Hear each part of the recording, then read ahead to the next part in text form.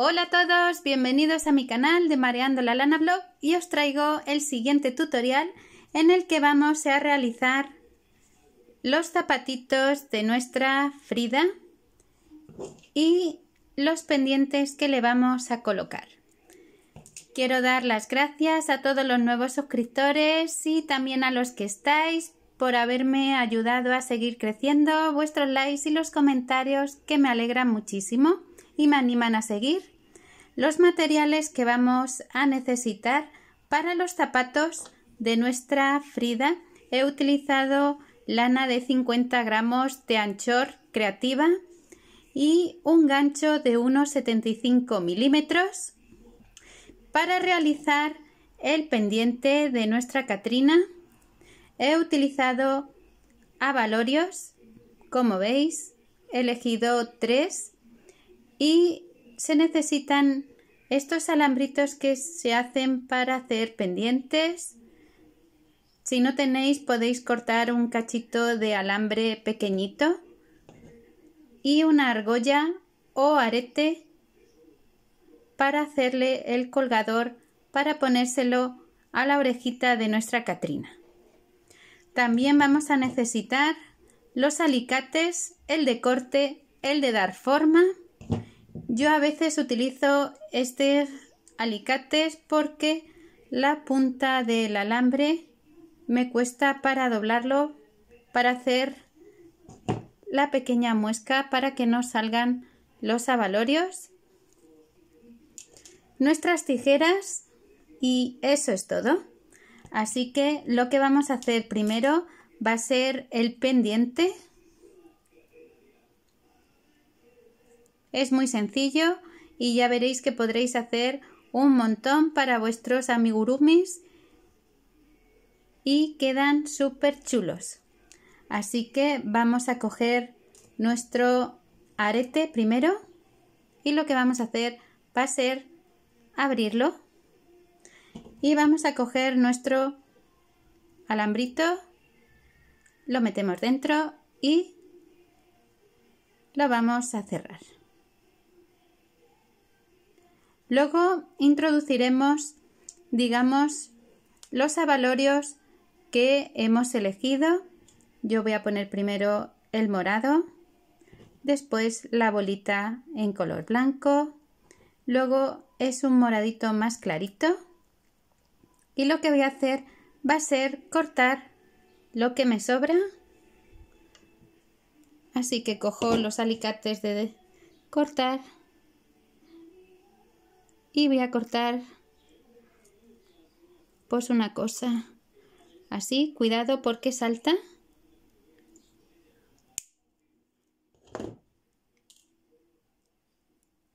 y luego con los alicates de dar forma vamos a hacerle una pequeña muesca o dobladillo hacia el avalorio. ¿Veis? Como ya no podía, pues utilizo estos otros alicates de cabeza de pato, como digo yo, de pico de pato. Y apretamos la muesca para que no se salgan nuestros avalorios.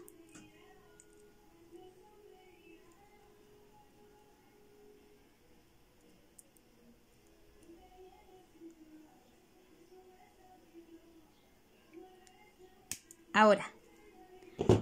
Y ya tenemos colocado el pendiente.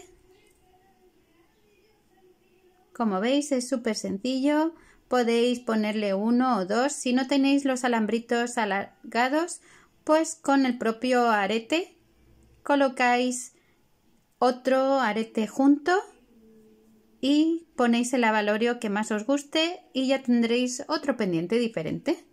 Así que solo nos queda colocárselo a nuestra Catrina y por eso cogemos y volvemos a abrir el arete y se lo introducimos por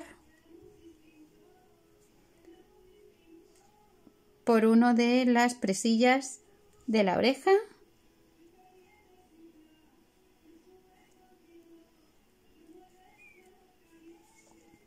cerramos. Como se queda un poco abierto, yo cojo así y ya tenemos hecho el pendiente de nuestra Catrina y solo me queda colocarle el segundo que he hecho. Voy a colocárselo y, os enseño. Ya se lo he colocado, como veis, mirad.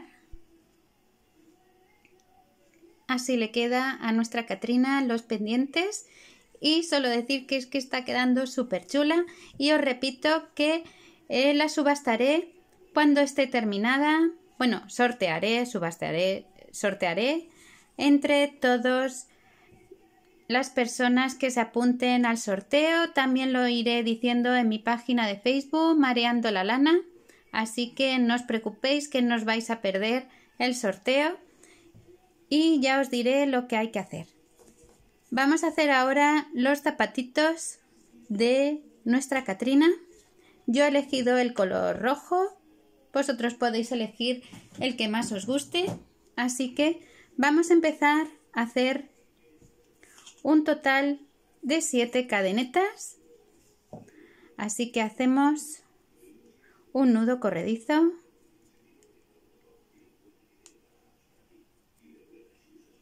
Y hacemos 7 cadenetas. 1, 2, 3, 4, 5, 6 y 7 cadenetas. Vamos a hacer en el primer punto, es decir, que vamos a empezar a trabajar desde la segunda cadeneta de nuestro gancho, es decir, en la primera, la segunda, vamos a hacer un aumento de punto bajo. Vamos a hacer ahora cuatro puntos bajos, un punto bajo en cada cadeneta, dos, 3 y 4.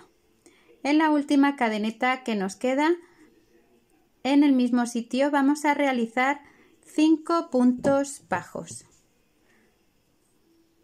Así que cogemos la última cadeneta y vamos a hacer 5 puntos bajos. 2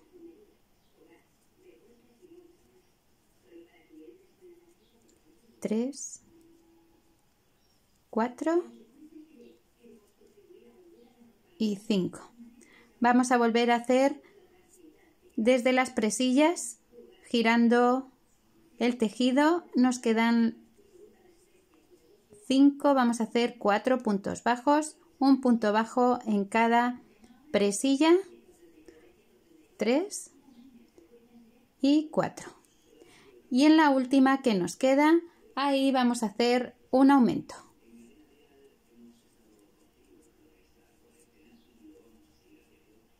Y cerramos con un punto enano en el primer punto que hemos realizado y subimos con la cadeneta. Y se nos queda una cosa así. Ahora vamos a hacer la siguiente vuelta. En el primer punto hacemos un punto bajo, en el segundo haremos un aumento Seguidamente vamos a hacer un total de cuatro puntos bajos, un punto bajo en cada punto, 2, 3 y 4. Ahora vamos a hacer un total de 5 aumentos, un aumento en cada punto hasta hacer 5. Tenemos el primero, segundo, tercero,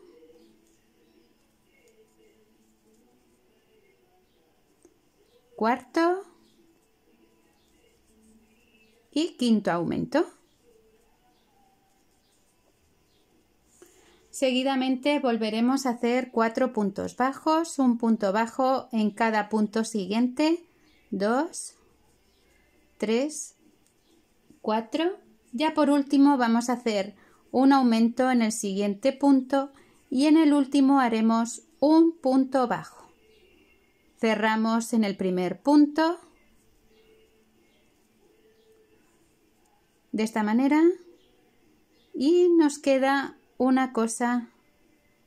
A ver que se me ha ido la hebrita para adelante.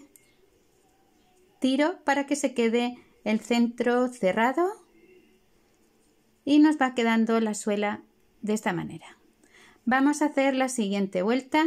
Sobre todo en esta vuelta ya tenéis que tener un total de 24 puntos bajos vamos a coger la presilla de atrás y vamos a hacer un total de 24 puntos bajos.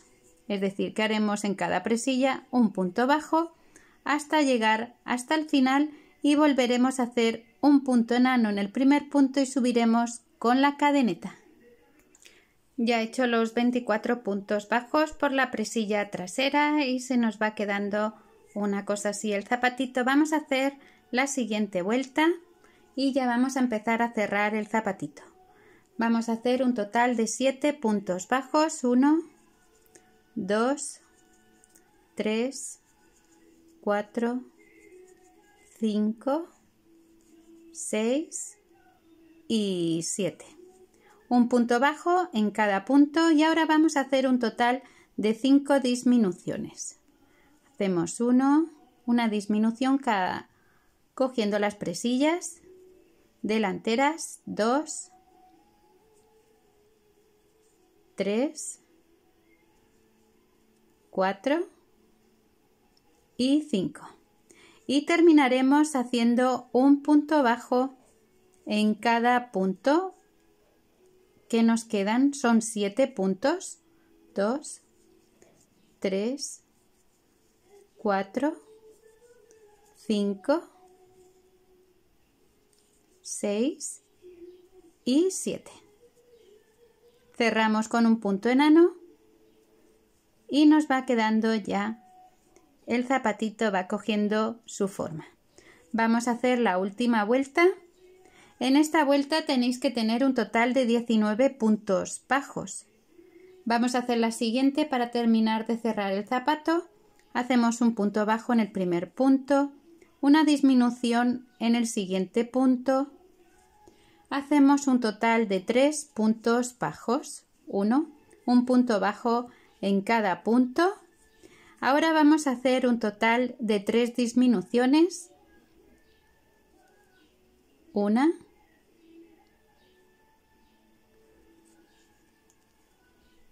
Dos y tres. Ahora vamos a hacer otra vez un total de cuatro puntos bajos, un punto bajo en cada punto. Uno, dos, tres y cuatro. Ahora hacemos una disminución en el siguiente punto y terminaremos haciendo un punto bajo en el último punto cerramos con un punto enano y vamos a dejar una pequeña hebrita para darle un par de vueltas al tobillo de nuestra Frida. Así que ahora cogemos y cortamos y ya solo nos queda probárselo a nuestra Catrina. Se nos queda el zapatito así. Vamos a probárselo.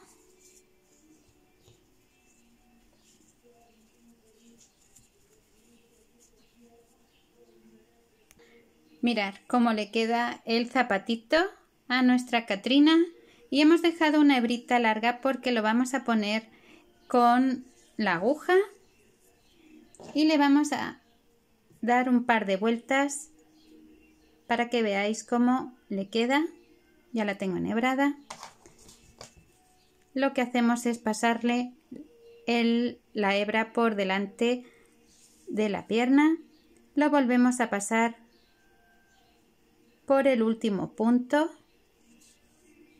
apretamos, volvemos a pasar por el siguiente punto, de esta manera, lo pasamos otra vez por delante,